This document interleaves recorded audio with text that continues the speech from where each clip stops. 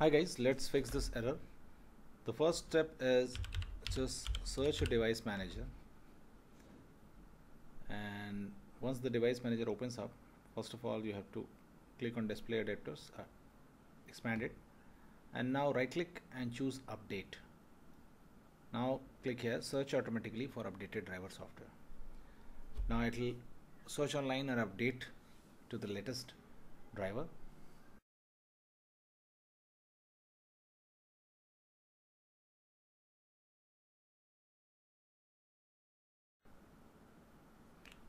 now it will update the latest driver. Now now also go to the network adapter and now just locate your network adapter. Just right click click on update click on search automatically and updated these two drivers. Most probably your problem will be fixed.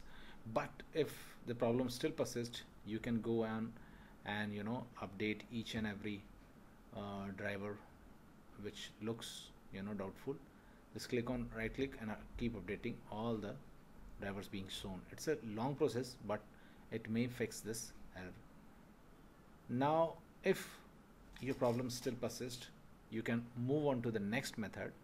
Okay just go to the screen and right click and choose properties of your C drive.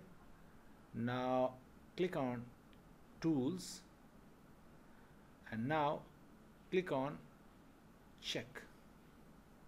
Now it will say error checking you don't need to scan that you haven't found any error. Okay just click on scan drive. Okay so it will scan. Now once your drive is successfully scanned and check again your problem will be solved. But if problem still persists you can move on to the third method. Just search cmd right click and run as administrator. And now write this command sfc slash scan now. Okay sorry. Scan now. I hit enter. Oh, uh, once this gets completed you can close the window and most probably your problem will get fixed so that's it guys. Please do like the video to support us and please subscribe to the channel geek page for supporting us. Thanks for watching